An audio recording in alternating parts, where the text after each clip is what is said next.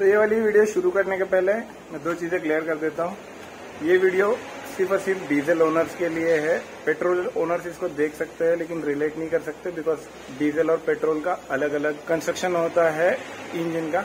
और second thing ये पूरी की पूरी वीडियो एक्सपेरिमेंटल है। मुझे भी इसके बारे में टोटल नॉलेज नहीं है, लेकिन मैं ट्राई कर रहा हूँ कि मैं इस एक्सपेरिमेंट के साथ थोड़ा पिकअप बढ़ा पाऊँ या गाड़ी की एफिशिएंसी थोड़ी बढ़ा पाऊँ इसमें थोड़ा अधूरा ज्ञान भी हो सकता है और मुझसे कोई गलती भी हो सकती है, क्योंकि मुझे टेक्निकल नॉलेज नहीं है इस चीज़ का बट मैं ट्राई कर रहा हूँ कि कुछ इम्प्रूवमेंट हो गाड़ी में। तो ये सब तामझाम की शुरुआत ना मेरी एक सिंपल कंप्लेंट से हुई।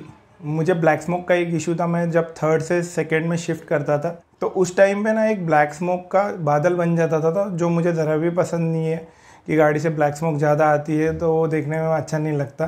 तो जब मैंने ये प्रॉब्लम हेड टेक्नीशियन को बताया, तब उन्होंने पहले इंटरकूलर चेक करवाया। इंटरकूलर मेरा क्लीन था। उसके बाद जाके उन्होंने बोला कि ई e इसका ओपन करके एक बार चेक कर लो। माइट भी वो चोकअप हो सकता है। इसके लिए हमने इसका ई e खोलने का डिसाइड किया। तो ये मेरी होंडा सिटी है और अगर आप इसको देख पाए तो इसका टर्बो यहाँ पे है।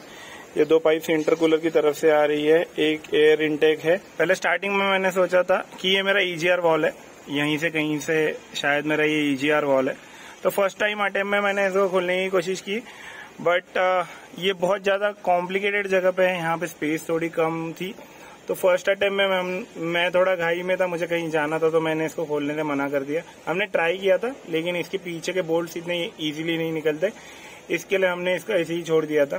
सिर्फ़ ये पाइप क्लीन की। ये जो पाइप है, जो एग्जॉस्ट गैस रिजर्वायर के पास जाती है तो मैंने सिर्फ़ ये क्लीन की थी। और फिर उसको बोला था कि नहीं, पैक कर दे, क्योंकि गाड़ी मुझे चाहिए और एक एक बड़ा लंबा रन था तो इसकी वजह से मैंने इसको पैक कर दिया। बट सेकेंड टाइम जो मैंने मेरा क्लच खोला, फ्लाईव्हील के जटरिंग की वजह से मैंने क्लच खोला था तो मेरी डीजल की जो तो फ्लाईव्हील के लिए मैंने जब खोला था तो ये पूरा का पूरा हाउसिंग ये जो पूरा नीचे का हाउसिंग है, ये पूरा का पूरा नीचे का हाउसिंग निकल गया था। तो ये खोलने में थोड़ी आसानी हो रही थी। तो अगर जनरली आप देखोगे तो गाड़ियों में टर्बो पीछे होता है और ईजीआर यहीं कहीं आसपास होता है। ठीक है? अगर मैं आपको हुंडई आई ट्वेंटी स्पोर्ट्स का दिखाऊँ तो इसका टर्बो पीछे है और ईजीआर e कहीं आसपास ही अंदर है। ठीक है? मैं वेंटो का भी खोलता हूँ, जब ईजीआर e की लाइट आती है चेक लाइट आती है तो मैं जब खोलता हूँ तो वेंटो का भी ईजीआर e आगे साइड में है टर्बो थोड़ा सा पीछे साइड में है। बट होंडा के कंस्ट्रक्शन में इंजन के टर्बो बहुत पीछे है, इसकी थ्रोटल बॉडी भी पीछे है। जब हमने पहली बार ईजीआर को खोला, हमने देखा, उसको हमने थ्रोटल बॉडी भी खोली, दोनों को जब भी, जब हमने देखा तो देख के बड़ा बुरा लगा बिकॉज़ ये पूरा, पूरी तरीके से चौकअप था। आजू बाजू की जितनी भी वॉल्स थी चौकअप थी सेंटर का सिर्फ़ पोर्शन खुला था। तो मैंने पर्सनली बैठ के इसको खोल के चेक किया।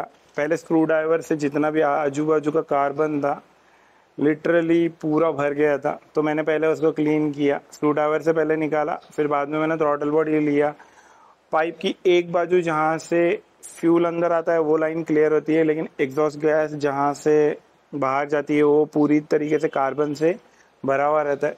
तो मैंने एक लाइन तो प्योरली क्लियर था, लेकिन दूसरी लाइन पूरी तरीके से चौकअप थी तो मैंने उसको क्लीन किया। बाद में मैंने उसको डीजल से धोया। डीजल से धोने के बाद उसकी हालत कुछ बेटर हुई। फिर भी मैंने एक रिटर्न अटैम्प किया। रिटर्न अटैम्प करने के बाद वो जो ई e था, वो पूरी तरीके से क्लीन हुआ। ऐसे मुझे लगता है, और इससे बेटर हो सकता था, लेकिन हमारे पास प्रॉपर इक्विपमेंट नहीं थे। तो हमारे इससे तो इतना ही हुआ। फिर हमने थ्रोटल बॉडी देखी। थ्रोटल बॉडी की हालत पहले कुछ ऐसी थी। आ, इसको सिंपली मैंने थ्रोटल बॉडी स्प्रे से साफ़ किया। ज़्यादा इसके साथ क्योंकि ये इलेक्ट्रॉनिक कंपोनेंट है। फेल हो गया तो बहुत लंबा चौड़ा फटका लग सकता है फाइनेंशियली तो इसके साथ मैंने ज़्यादा छेड़खानी नहीं की। मैंने इसको कार्बोरेटर स्प्रे से सीधा साफ़ कर दिया। और ये इलेक्ट्रॉनिक थ्रोटल बॉडी है तो इसमें और कुछ नहीं होता, ये बटरफ्लाई होता है ओपन क्लोज होता है फ्यूल अंदर सप्लाई करने का काम ही होता है, इसका कितना रेशो जैसे आप थ्रोटल दबाते जाओगे, उतना ये बटरफ्लाई ज़्यादा ओपन होगा।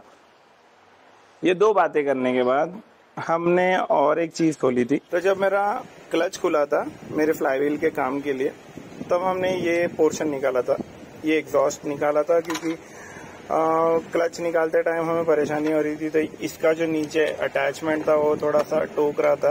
तो इसके लिए ये वाला पाइप हमने निकाल दिया था। जब हमने इसको निकाला था तो ऐसे कोई प्लानिंग नहीं था। मैं ऑलरेडी ब्लैक स्मोक से, मैं ऑलरेडी ब्लैक स्मोक से बहुत ज़्यादा परेशान था गाड़ी के। तो हमने ये वाला कंपोनेंट जब निकाला तो इस वाला कंपोनेंट निकालने के बाद मैंने देखा तो ये पूरी तरीके से चोकअप था। इसमें एक ये सेक्शन में जाली होती है। ये सेक्शन में एक नेट होता है। जाली होती है इसमें। तो ये कैटेलिक कन्वर्टर है। बी एस सिक्स में ये बहुत बड़ा दिखता है। यहाँ पे ये बहुत छोटा है। इसके अंदर एक मेश है। वायर वायर में जैसी एक जाली है। तो ये बेसिकली ये कार्बन कलेक्ट करने का काम करता है। तो यहाँ से लेके अगर आप नीचे तक देखो, यहाँ तक ये पाइप हमने खोली हुई थी। तो जब हमने इसको खोला था, हमारा कोई ऐसा प्लान नहीं था इसको खोलने का। बस ये खुला हुआ था तो हमने एक बार चेक कर लिया। मुझे भी नहीं मालूम था कि इससे ब्लैक स्मोक इतनी इम्प्रूव होगी। तो मैंने जब इसको खोला था, इसको क्लीन करने का कोई प्लान नहीं था तो इसको क्लीन करने के लिए कोई लिक्विड आता है, क्या आता है, मुझे कुछ आइडिया नहीं था। तो मैंने जस्ट गूगल किया गूगल किया तो मुझे समझ में आया कि आप इसको सोप वाटर से क्लीन कर सकते हो। इसको मैंने थोड़ा डीजल से भी धोया। डीजल से धोने के बाद मैंने इसको सोप वाटर के बकेट में इसको डुबा के रखा। फिर मैंने इसको प्रेशर वॉशर से प्रेशर वॉश किया तो जाली थोड़ी थोड़ी मुझे ट्रांसपेरेंट दिखने लगी। मतलब पाइप की एक साइड से देखोगे दूसरी तरफ़ तो आपको लाइट दिखाई देगी उसमें से। वहाँ से आती हुई रोशनी आपको दिखाई देगी। तो मैंने वापस एक बार इसमें डीजल डाल के इसको सोप वाटर में डुबा के रखा। तो दो टाइम प्रोसेस करने के बाद इसकी जाली कुछ अंदर से मैंने इसको कैमरा से जूम करके देखा तो मुझे इसकी जाली एकदम क्लियर दिखाई थी एग्जॉस्ट तो एग्जॉस्ट पाइप का तो मैं आपको फुटेज नहीं दिखा सकता हूँ क्योंकि ये प्लान में नहीं था। तो वो कितना खराब था या कितना चौकअप था, ये मैं आपको नहीं दिखा पाऊँगा। बस उसका फाइनल रिज़ल्ट मैं आपको दिखा सकता हूँ। एग्जॉस्ट पाइप जहाँ पे से निकला था ना, वो साइड टर्बो की एक्सपोज थी और वहाँ पे ना बहुत सारा कार्बन जमा था। मैंने सोचा इसको डब्ल्यू फोर्टी से साफ़ कर दूँ। अगर करता तो शायद पैंतालीस हज़ार का फटका भी लग जाता था बिकॉज़ ये टर्बो पैंतालीस हज़ार की है। सिंपली इसको हवा से साफ़ कर दीजिए, ये साफ़ हो जाएगा। ये सब करने के बाद, पहली बात तो मुझे मेरी गाड़ी रिफाइन लगने लगी। सेकेंड थिंग ब्लैक स्मोक की प्रॉब्लम सॉल्व हो गई। मेरा टॉप एंड का परफॉर्मेंस बहुत ज़्यादा इम्प्रूव हुआ है, और लोअर गेयर में जब भी आप गाड़ी ट्रैफ़िक में उठाने की कोशिश करते हो, गाड़ी बहुत इजीली ओपन अप हो जाती है। और एक बात, बहुत टाइम के बाद मैंने मेरे क्लस्टर मीटर पे 25 का एवरेज देखा हुआ है। वो भी रिटर्न ट्रिप में, ऐसे नहीं कि पहले सौ, डेढ़ सौ किलोमीटर में, पूरे टोटल साढ़े सात सौ किलोमीटर रिटर्न ट्रिप करने के बाद भी मेरे क्लस्टर मीटर पे चौबीस पॉइंट पाँच का एवरेज था। ये वीडियो आपको कैसी लगे, मुझे कमेंट सेक्शन में बताइए। अगर वीडियो अच्छी लगे तो चैनल को सब्सक्राइब ज़रूर करना।